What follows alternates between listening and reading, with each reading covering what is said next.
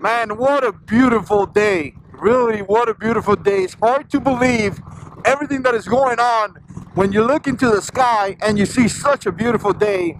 But as you guys know, it's going crazy right now. People are losing their jobs. People don't have a way to provide. The, the cases of coronavirus continue to increase.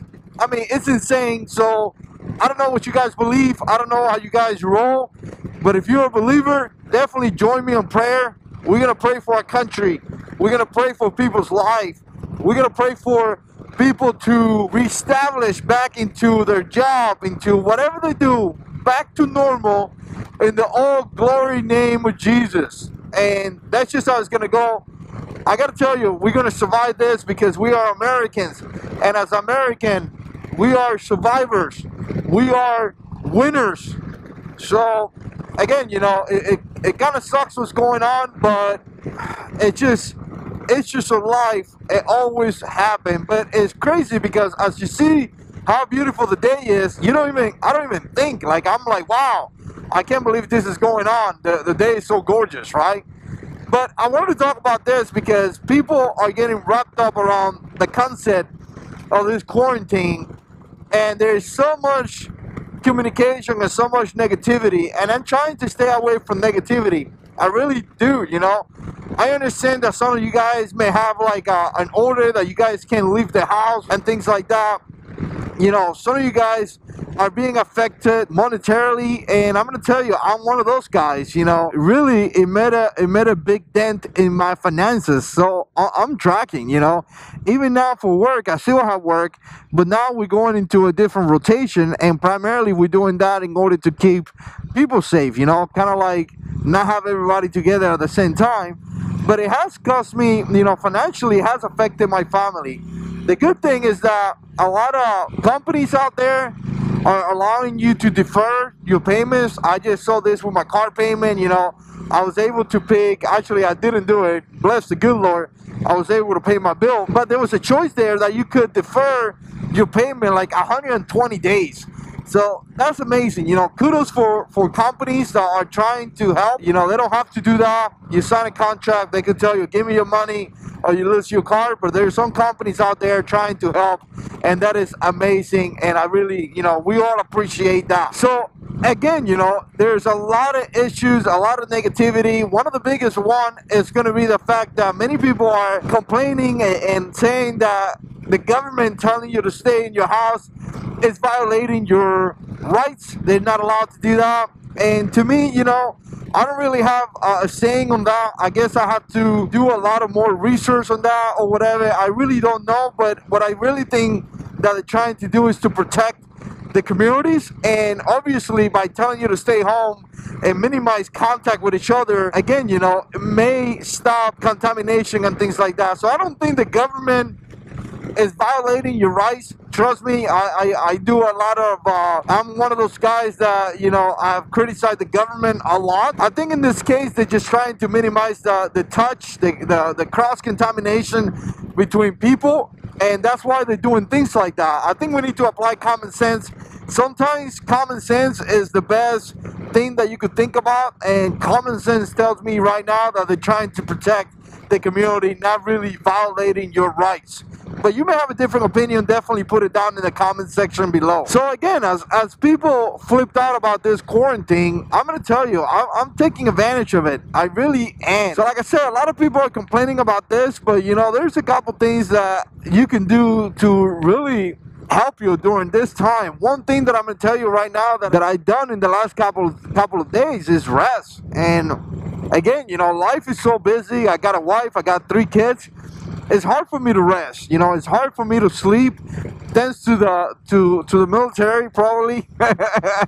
We're not gonna get into that now. But again, you know, getting a good night's sleep, being able to sleep the best, you know, uh, as good as you can, being able to rest, being able to get your body to take a break to me that's just fantastic and to me that's just amazing and good. So take advantage of this time with you all and rest because i tell you what when when life comes back when everything gets uh, back to normal I, I don't know about you guys but i'm gonna be working. And you know it's good to take a break. It's good to rest. The other thing that i've been doing a lot is spending time with the family. And you know i just been there at home with the family. We, we cooked some good meals. You know, just yesterday we did, uh, or the day before, we did some pork. It was amazing. We cooked some rice and beans. I mean, that, that to me, that's like gold. And it was just great, you know. So spending some good quality time with the family is fantastic. We bought a $25 pool and uh, we put it in the back. It's a crappy little pool. We put some water on it. Man, little Manny is having a blast a blast in the pool. So again, you know, you're spending a little bit of time together. To me, that's amazing. It's fantastic, and, and, again, it builds that relationship.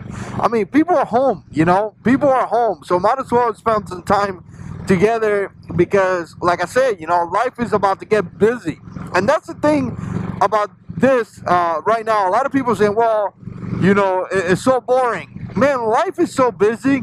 Take a little bit of boring every now and then it's okay to be boring, you know. So again, you know, I've been sleeping, I've been resting, I've been spending time with the family, and the last thing that I need to do in the next couple of days is do some things around the house. You know, a couple days ago I went to Lowe's, and I'm gonna tell you, it was crazy. Lowe's was packed. But I got some light bulbs. I replaced all the, uh, the light bulbs that were out in the house. And I also bought some screws and tied up all the cabinets door. Uh, they were kind of loose a little bit. And then the hole was like kind of like the screws that I have. They weren't thick enough. So I bought thicker uh, screws and I put them there. So I fixed my kitchen. Fixed my kitchen, changed the light bulbs. Today I want to work in uh, a room that is a mess that I need to clean up a little bit. I'm going to work on that. Hopefully I work in my garage. I did got some trash bags to be able to do that. So again, you know, take advantage of this time. I try to stay away from people that are always complaining. The negativity is killing me. And to me, Negativity just sucks, man. Speak life. Speak life. I'm going to say it again. Speak life into your life. Don't speak negativity into your life, you know? And obviously, again, I know some people can't do it because the, the laws and all that. Right now, here in the city, they're recommending to stay home, voluntary, as far as I know, unless you have to go to the store and pick up some stuff and things like that. Then you could go out. But again, as far as I know, it's still a, a volunteer uh, kind of progress. But again, you know, apply common sense. You know, like I told my wife yesterday, there's no need for us to go to the park. We wanted to go to the park with the kids. I was like, let's stay home. You know, let's do a, a walk around our house. Let's walk outside. We got Manny a little scooter.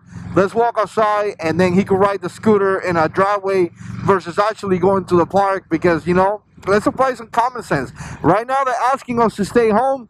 So if we can stay home, let's stay home as much as we can in order to, you know, to help with the process. So again, you know, here's the thing guys. I appreciate you guys support. I appreciate you guys watching my videos. I know there's a lot of complications out there. I'm not saying that i'm not saying this is going to be an easy one. It's going to be difficult but let's try to make the best we can out of this one. I appreciate you guys watching and as always god is in control